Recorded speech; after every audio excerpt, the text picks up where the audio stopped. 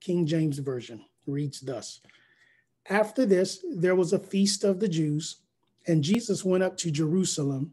Now, there is at Jerusalem by the sheep market or the sheep gate a pool, which is called in the Hebrew tongue Bethesda, having five porches. In these lay a great multitude of impotent folks or sick folks, of blind, halt, withered. So it's giving us a description of these, uh, their infirmities, their physical infirmities. Um, blind, halt, withered, waiting for the moving of the water. Verse 4 For an angel went down at a certain season into the pool and troubled the water. Whosoever or whoever then first, after the troubling of the water, stepped in, was made whole of whatsoever disease he had had. So they were healed. Verse 5 And a certain man was there which had an infirmity for 30 and eight years or 38 years. When Jesus saw him lie or lying and knew that he had been now a long had he had been now a long time in that case, he saith unto him, What wilt thou be made whole? So notice here in this scripture, it's revealing to us Jesus' omniscience or all knowing. So for 38 years, Jesus knew. Jesus knew his state. Jesus knew his condition. He knows your condition. He knows your state. Again, going back to the scripture I shared with you earlier, Hebrews chapter 13, the three scriptures I shared, he's a very present help. He'll never leave you nor forsake you. He's the same yesterday, today, and forever. So he's omniscient. He already knows our situation. So be aware. He knows the situation. He knows your situation, where you are, spiritually, where you are, mentally, where you are, physically. He knows every pain, every ailment, every infirmity that you and I have. And he is moved with compassion. All right. So then Jesus asked a question of this man in verse six Will you be made whole? Notice he uses the same word, the word whole in the King James, as the same one in the verse four. Anyone who stepped into the water, the first one who stepped into the water was made whole or made complete. So now Jesus asked the question in verse six of this one man who had been in this particular situation 38 years Will you be made whole? In verse seven, the impotent man answered him, Sir, notice the respect. Remember, we see the same type of respect with the Samaritan woman using the same word, sir, in John chapter 4. Sir, I have no man when the water is troubled to put me into the pool. But while I am coming, another steppeth down before me. So evidently, his um, impotency, his his ailment, his infirmity, if you please, um, had something to do with the walking, because as he proceeded towards the pool during the the troubling, the word King James used troubling or the stirring of the water, as he was approaching the water, someone else would step in before him, therefore get that blessing, get that spiritual benefit, so he would miss out. So that's what he said in verse seven. But notice he said, "Sir." Notice the respect. He said, "I have no man to put me in the water." But while I am coming, another stepped down before me.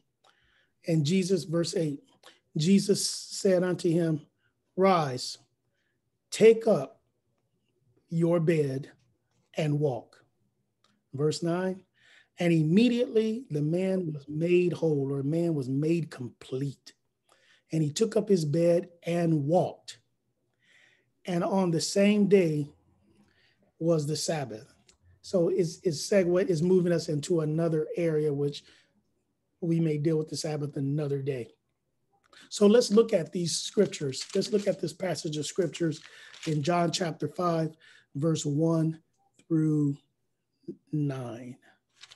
So again, I already mentioned to you the Bible says here that after this, so after John chapter 4, he was in Samaria, they made their way to Jerusalem. And notice what the Bible, let me give you a little bit of geographical uh, ge- ge- geo lesson, if you please. He said, there was a feast of, Ju- of the Jews, and Jesus went up. A lot of times in the King James, so I'm just going to give you a kind of a tidbit on studying, especially from the King James. King James uses words, and um, of course, it was taken from the 1600s, early, late 1500s, early 1600s, 1611 when it was completed. So it's in the old King James writing. So they would use words such as this Jesus went up to Jerusalem. What they're referring to is the geography. So from where Jesus left in Samaria, the sea level is not so much north, south, east, or west, because we know Jerusalem was south, as we look at it on the map, it was south in nature from the city of Sychar, Samaria. So, what this is referring to, so again, a tidbit just for studying, when you read something like this, especially in King James, Jesus went up, is referring to the Mediterranean Sea. And if you look at a map and you have one of those sea level maps, Jerusalem was at a very high level. So, this gives us insight on why Jerusalem was built where it was built. It was easier to defend. So, again, that's just to say he went up. Not only that, so it also lets us know, it gives us some insight that as they traveled by foot, they were um, exposed to fatigue and, and, and becoming tired and, and requiring more liquids to sustain that physical strength. So all these things are inclusive when we're reading and studying the Bible, when we come across things such as Jesus went up to Jerusalem.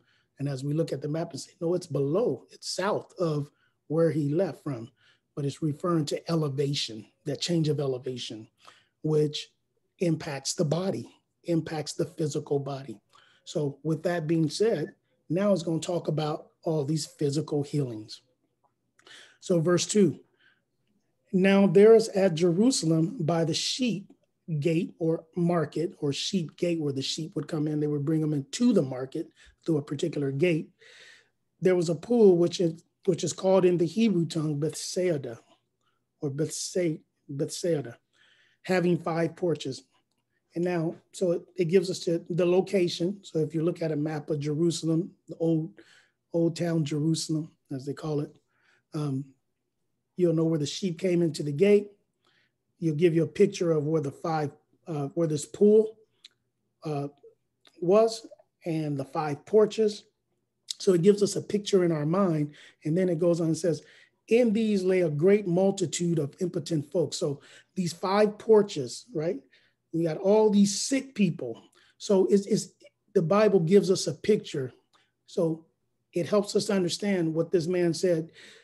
So when I make my way to the pool, when the angels come down and stir the water, you got all these people occupying these five porches. I don't have a chance. I, don't have a chance in the world to get to that water to be made whole, to be made complete, to be healed, because I'm contending with all these people, all these impotent folks that's occupying these five porches. All right. So in verse three, in these lay a great multitude. Again, in studying the Bible, pull out those words. Don't be so quick just to read over them because it is it's giving a picture. Lay a great multitude of sick folks or impotent folks. And then they, some were blind, some were halt, some were withered. So again, giving us a description of the various disabilities as we call them um, shortcomings in the physical body blind, halt, withered, and they were all there waiting for the moving of the water. So, in this one scripture, it gives us the description of the people, the great multitude of people that's occupying these five porches. It gives us the description on some of their physical infirmities. And then it also shows us their faith. It shows us their faith. The Bible used here in, in the King James, waiting for the moving of the water. So they had faith that at a certain time, an angel was coming down. It was going to trouble or stir the water. And if they could beat everyone else there into that pool of water, they had faith, they had belief, they had trust, they had confidence to the point they were willing to wait around all all all these they were willing to wait around the sheep market. You say well why is that a big deal? Well not everyone is willing to wait around where a bunch of animals reside it would be like at a petting zoo who wants to hang out at a petting zoo day in and day out but as a result of their faith they were willing to wait in this area for the angel to come down and trouble the water. So, what we have here, what we begin to see in these scriptures as we read them, as we dissect them, what is God communicating to us in this chapter, in this passage of scripture? Yes, Jesus went down to Jerusalem or elevation, he went up to Jerusalem, right? Um, which is taxing on the body. And he went to this, this uh, Bethsaida, this pool where there was a bunch of physically, a great multitude of physically impaired people who had faith that God would heal them, that there would be a divine healing if they waited. So, what does that communicate to us? What does that speak to us? Regardless of your physical disability, as it is labeled, have faith in God, trust in God, believe in God. He hasn't given up on you. He hasn't given up on you. So, verse four, the Bible says this For an angel went down, so it, it goes on and it tells us what they were waiting for. So it says, waiting for the moving of the water. So, for a new Christian or even a person who's been living for God, said, why would they wait around a pool for the moving of the water? So the Bible doesn't leave us hanging. The Bible tells us in First Corinthians 14 that God is not the author of confusion. So he goes on and he explains to us. And this is something that we learn to do as Christians, as human beings, as we conversate one with another, as especially in Christianity. Let me just stick with Christianity. If God is leading us to talk to someone, an opportunity. We have the opportunity to talk to a family member, opportunity to talk to a loved one, opportunity to talk to someone who's open to hear what we have to say. We don't want to leave them with um, half sentences or short sentences. Sometimes, as the Holy Spirit leads us, and that's the key, you want to give them the description of what you're talking. You don't want them to try to process and come to their own conclusions. You want to give them as many details as possible. Make no assumptions anyone knows what we know or what you know in the Word of God. So give as many descriptions as simple as possible, but yet having an impact on the hearer. So so verse four, that's what Jesus, that's what the Bible does here. For an angel went down at, the, at a certain season, at a certain time, into the pool and troubled or stirred the water. And then it tells us, so it, it tells us why they were waiting. They knew there was an angel would come down at a certain time and would stir the water. And then it goes on to tell us in the scripture, whoever, whoever then first. So notice it gives us a priority and like a, a order. Whoever, so no prejudice, no limitations. It doesn't matter if you're Jew, Gentile, because the Bible says whoever, right? And we know that to be true from John 3:16. For God so loved the world, so the entire human race. So now we have this scripture, this part of this scripture in John 5 4. It says, whoever who had a physical uh, impairment, whoever first, after the stirring of the water, the troubling of the water, whoever was the first one to step in was made whole or made complete of whatsoever disease he had. So, what I'm talking about here, what my thought pattern here is there's no limitation, right? There's no limitation on who God can heal. There's no limitation on what God can heal. So, whoever was the first one who stepped into the water after it was stirred by the angel was made whole, made complete, healed of whatever disease they had. So there's no limitations. There was no limit. If you can make it to this pool, if you were the first one into the pool. I'm bringing that up because here in verse five, it tells us there was a certain man of 38 years old, or he had an infirmity 38 years. He could have been 38 years old. We know he was at least 38 years old. Um, he could have been older. He had this infirmity for 30 eight years. So maybe for 38 years with this infirmity, he was laying there. He was laying there waiting. And each time, I don't know the frequency of the angel coming to visit that pool, but whatever the frequency was of the angel coming to visit that pool, can you imagine his anticipation level? Okay, maybe this is my day.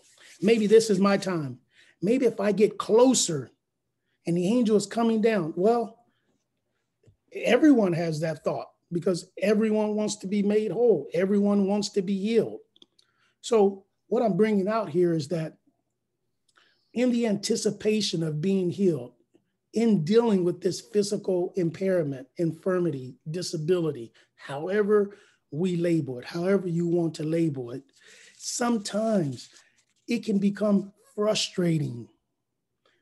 It can become frustrating and it can work on you emotionally, right? I've prayed, I've prayed, I'm praying, I'm praying, I'm waiting, I'm waiting, I'm praying, I'm waiting. And I'm still in the same state. It's been year after year, as with this man, 38 years. So he positioned himself, just like we. We position ourselves spiritually. We read our Bible we, we're faithful to God as far as as much as we know to be faithful to God. We're positioning ourselves to receive the blessings of God, but they're not happening like this man here in John chapter 5, verse 5. And a certain man was there which had an infirmity 30 and 8 years. So now, like us, like us today, some of us are like this man as a result, you get frustrated, you get tired, you become wearied. Hope starts slipping. But the next verse, let's go on to the next verse as we look at the Bible and study the Bible. Jesus saw him lie there, and the Bible says he knew how long he had been there. He knew how long he had been dealing with this particular infirmity. Jesus, again, I'm going to reiterate what I've already said to you. Jesus knows what you're dealing with. He's omniscient, He's all knowing, He's aware.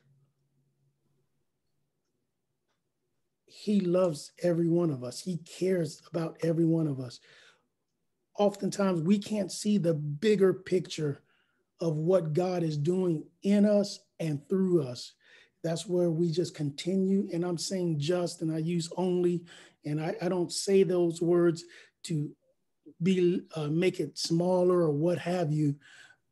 But I say that because when we have nothing else to hold on to, we hold on to the word of God, to the promises of God, and we ask God to allow us to see the bigger, bigger picture.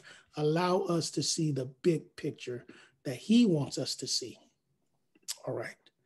So Jesus asked this man after knowing now look at look, look at this in the Bible, here in verse six.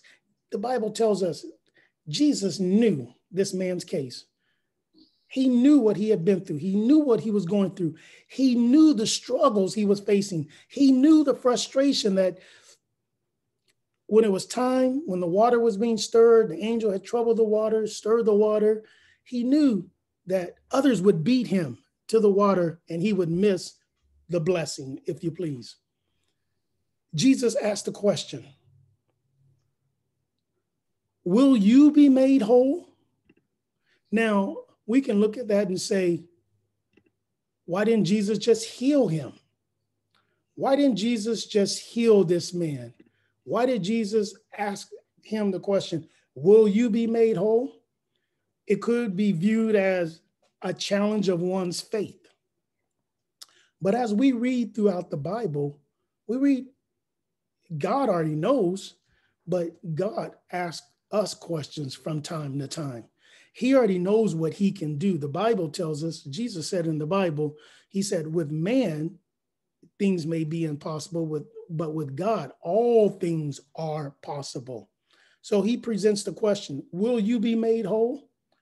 Do you believe it? In the midst of your frustration, in the midst of your disappointments, in the in the midst of that discouraging and, and despondency and those dark, gloomy days, do you believe you can be made whole? God communicates to us sometimes through questions, asking us, Do you believe that can happen for you? Do you believe you can get that job? Do you believe you um, you can get that house? Do you believe this can come to pass for you? Because we know the Bible tells us that in Psalm, what is it, 50? Psalm 50, verse 10, our God owns a cattle on a thousand hills, right? It's just giving us a glimpse into he's unlimited. He can do all these things. He tells us in he tells us in Matthew 6 33, he says, Seek ye first the kingdom of God and his righteousness. And he ends that scripture by saying, And I will add all these things unto you. So the desires of your heart, I like using these scriptures uh, interchangeably or together, I should say, not interchangeably. Uh, Philippians 4 19, we say, My God shall supply all of my needs according to his riches and glory. So he'll supply. So by default, he's going to supply our needs. And then I believe it's Psalm 37. Yeah, in Psalm 37, maybe verse 4, verse 25, but I believe it's in Psalm 37. He said, I'll give you the desires of your heart. So what we have there is he'll meet our needs. And then he says, I'll give you the desires of your hearts or your wants. So here, Jesus asked the question, and he asked us the question Will you be made whole? Will you allow me to bless you? Will you allow me to use you for my glory, for the glory of God, and for the salvation of souls? So notice, let's move on here. Verse 7 the impotent man answered. So it still have that that that precursor in front of him the impotent man, letting us know, letting the reader know that he's talking to this man in his state, in that current state. The impotent man, the sick man, the lame man, if you please, answered and said, Sir, so he has the respect. I have no man when the water is stirred, when the water is troubled, to put me into the pool. So, what we see here in this scripture, and I'm not dispelling this, but what is revealed to us that in this man's disability, in this man, in, in his infirmity, he's depending on someone else for a blessing to put him in the position for a blessing from God. And I understand it. He has this infirmity, can't walk, can't get to the troubling of uh, the pool of water at uh, being the first one at, at the time. He can't get there in that time. So he there is a dependency on someone else. And he says, I have no man to put me in the pool when the water is troubled. So as a result, I miss out on a divine blessing from God. I miss out on being made, on being made whole. I am frustrated with my condition. I am frustrated with my situation. I am frustrated with the circumstance. There's five porches of, of impotent folks and I'm competing against them to be healed. So, this is the scene. This is the scenario.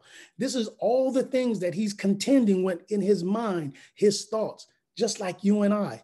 All the things in life that we're dealing with, that I'm gonna call it five porches. And all these people pulling. This person's pulling, that person's pulling, this person's pulling. They're putting their problems on you. This one's putting their problems on, and, and you have your own problems. Everybody is trying to make it to the pool to get healed. so that's the scene, that's the situation, that's that's life, that's where we all live.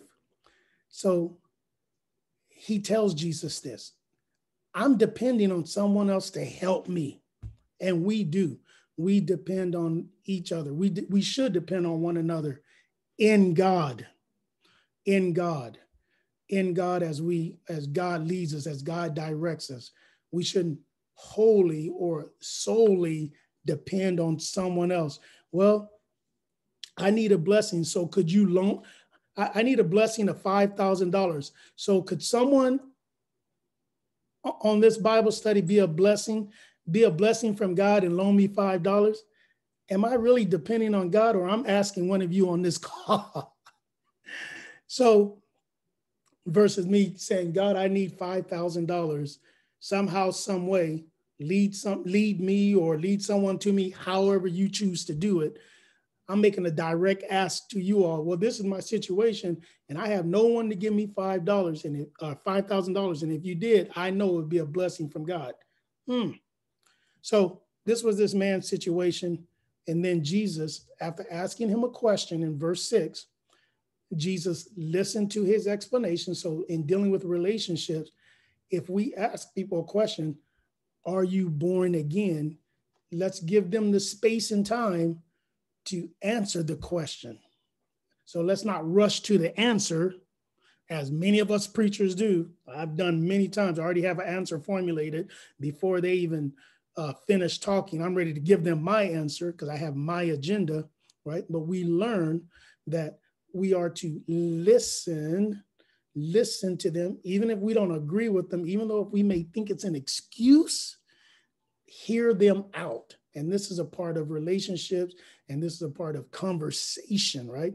Conversation, which develops relationship, hearing one another out, hearing one another out, because they may, that other person that you're communicating with or persons may communicate something to you and I that we didn't think about as far as their situation. All right. So Jesus waited for him to explain to him why he couldn't be made whole. Um, I have no man. I'm depending on someone else to put me in the water when it's stirred at that particular time. And while I'm trying to make my own way when no one else is there, and I'm trying to do it on my own and my own strength with this disability, someone else steps in. One of the other potential recipients from who's occupying those five porches they beat me to the beat me to the pool because they have the same mindset I have. Let's get there before him. Verse 8, Jesus said unto him, Rise up, take up your bed and walk. So this scripture shows us no limitations. God is God is not in a box.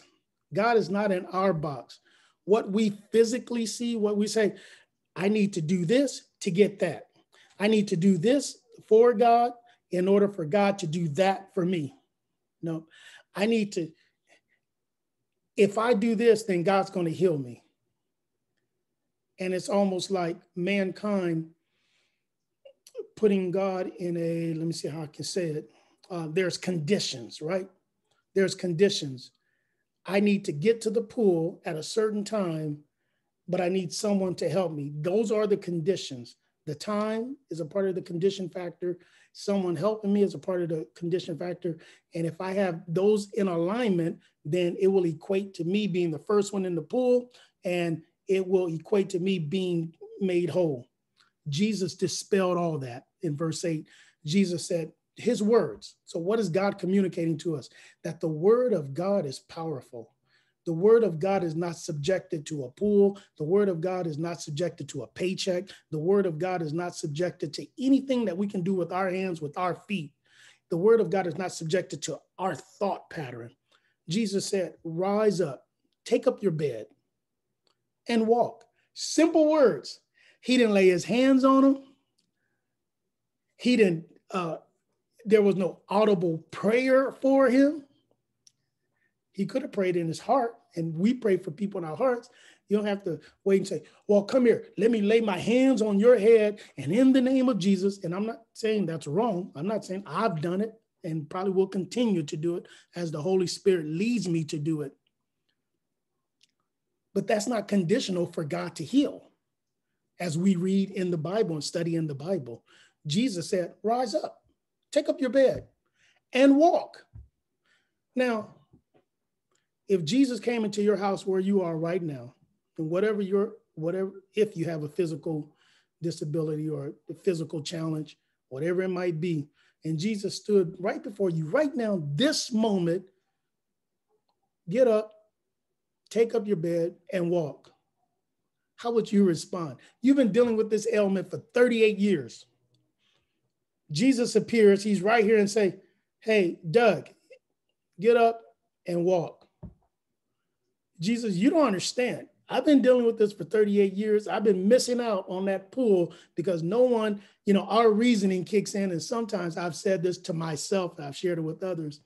Uh, sometimes our reasoning hinders us from being blessed by God because we reason it, well, I've been waiting on the water. Someone beats me in. I believe in the angel coming down, stirring up the water. And now you're standing right here, Jesus, and you just tell me to just take up my bed and get up and walk after 38 years. I haven't done it for 38 years. I know the results of that pool because I've been witnessing that with my eyes. But now, with our spiritual ears, can will we believe what the word of God says, what God is communicating to us? So in verse 9, verse 9, it says this, and immediately Immediately, the man was made whole completely and took up his bed and walked. Immediately. So I want to end uh, my lecture by saying this his faith transferred. His, his faith transferred from the waiting on the pool his his faith, when I say faith, his belief, his trust, his confidence transferred from being the first one to get in the pool in order to be made whole, it transferred to believing what God said. The simple words of God. Physically, he would have gone through this whole process. Someone would have picked him up, someone would have, uh, just for a lack of, uh, of words, dragged them to the pool, put them in the pool, then he would have that continual faith to be made whole as as the promises was made when the angels came down. But that faith transferred to the word of god. The simple words rise up rise take up your bed and walk. Just that easy that easy that simple jesus he's the word remember going back, what is God communicating to us? John chapter 1. His, his eternal presence, right? His eternal existence. What is God create, uh, uh, communicating to us? Remember, John 1, that he is the creator of all things. He created this man. He created this body and called it man. He spoke the worlds into existence. He is the creator and he made them for his will, for his purpose. Colossians 1. So, yes, he can speak to us. He can speak to this body that he made, to this hand, to these eyes, and say, Be open, be healed. He doesn't have to do all these things that we may view as conditional. This has to happen and this has to happen in order for this to happen. No. So our faith, maybe, and let me just kind of throw this out there our faith, say, in ourselves or what have you, or what we've been depending on, again, our faith in our resources may exhaust at times and will exhaust. But our faith in God, transfer that faith, that same faith, that same belief, trust, and confidence, transfer it to the word of God, which is inexhaustible.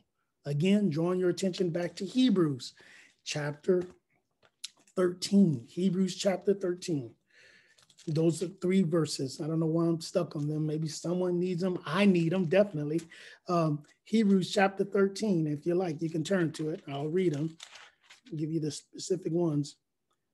He says in verse 5, he says, He will never leave thee nor forsake thee. In verse 6, that we may boldly say, The Lord is my helper. In verse 8, Jesus Christ the same yesterday, today, and forever. Again, Hebrews chapter 13, verse 5 I will never leave thee nor forsake thee.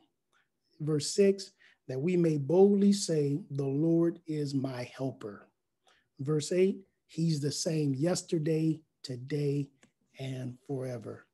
Again, so we talked about relationships, and here in John chapter 5, really the emphasis in my mind, these uh, first nine scriptures, uh, the emphasis is there's no limitations in God. There's, there are no limitations in God when it concerns us because he loves us so much, because he cares about us so much.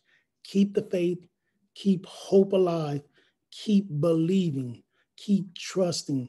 Doesn't matter how gloom, doesn't matter how uh, how much despair tries to kick in. Doesn't matter if you're discouraged. Hold on to your faith in God. He said in Hebrews chapter 10, cast not away your confidence, cast not away your faith, cast not away your trust in the word of God. I believe God communicates that to us. There are no limitations in Jesus. So, as we're seeing this in these early chapters of the gospel of Jesus, according to John, his relationships with these individuals. And now he's saying there's no limitations, this relationship. So establish, maintain, continue to develop your relationship with Christ. And in developing it, realize there are no limitations for God in my life. I don't want to place any limitations on my God, my Jesus, my Lord, my Savior in my life. It doesn't matter if he chooses to heal me, he heals me. And I say that because Jacob had a hollow in his thigh. God never healed him.